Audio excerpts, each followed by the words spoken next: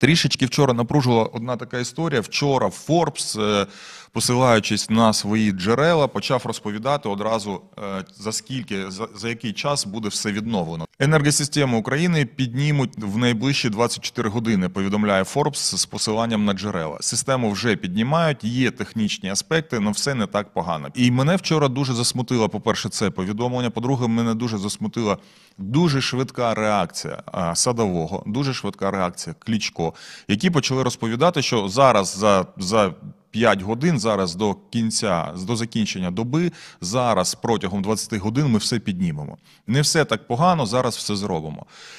І вперше про що я подумав, що це те ж саме, що повідомляти про місця прильотів. Росіяни чудово знають, куди вони б'ють.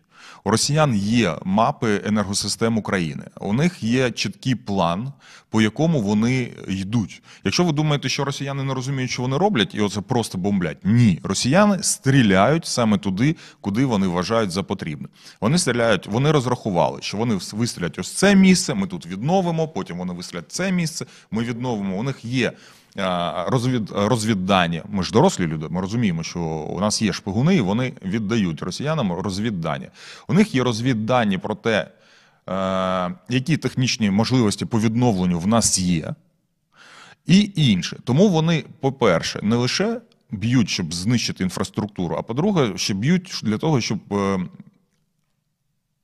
скажімо так, зменшити наші можливості по відновленню.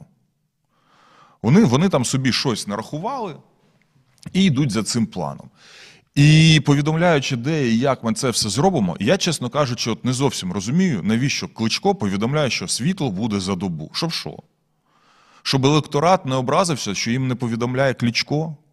Чи для того, щоб е, росіяни такі, о, серйозно? М, ми не так вже сильно й дарили. А ну, дайте, киньте туди ще ракету. І ми повинні розуміти, що в місцях, куди прилетіли ракети, працюють живі люди над відновленням нашої енергосистеми, системи водопостачання.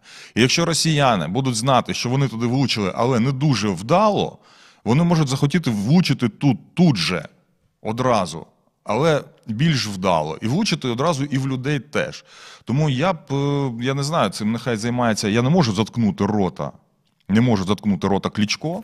Його, в принципі, ніхто не може заткнути його тупого рота. На жаль, от е, це пора давно вже зробити.